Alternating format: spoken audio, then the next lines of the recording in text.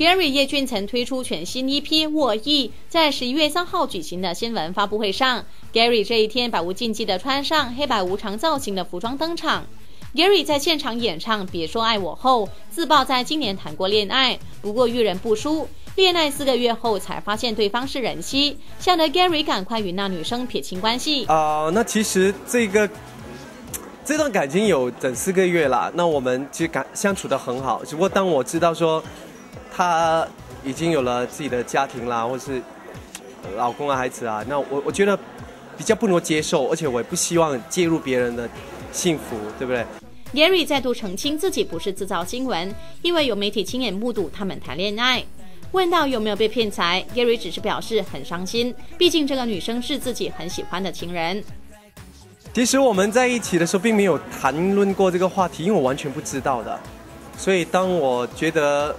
有些问题的时候，我想分手的时候，呃，又接到他表姐的电电话通知的时候，我才知道有这件事情发生了。那我不会要求他跟他的家人放分开是什么，因为我觉得这个是不对的。一定要对方自己处理好自己的家事，然后你才开始一段恋情。因为我不想成为人家的第三者。对。媒体继续追问，Gary 才坦言，他是在今年新年在夜店认识对方。不过交往期间完全没有察觉对方已经有了家室，目前还是空窗期的 Gary 表示，虽然会感到寂寞，不过暂时没有急着要找女朋友。他也透露，其实，在夜店很容易交到异性朋友，所以以后会花点时间去夜店。Gary 这头说不会不甘寂寞，另一头又说要积极的去夜店。Gary 啊 Gary，你的这番话会不会有点自相矛盾啊？不过话说回来，叶俊成全新 EP《我意》收录的都是自己的词曲创作。有份来捧场的艺人好友黎胜明大胆批评叶俊成以前的唱功很烂。不过经过磨练后，Gary 的唱功已经大有进步了。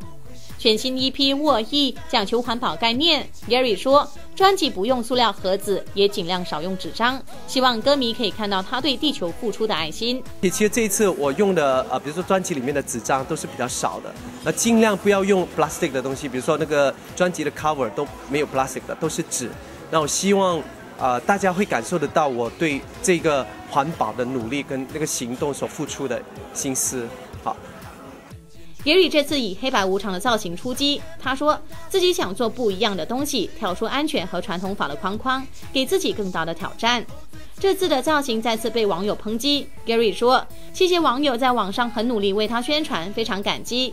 ”Gary 最后也说自己是非常有阿 Q 精神的。那这一次真的很开心，因为我。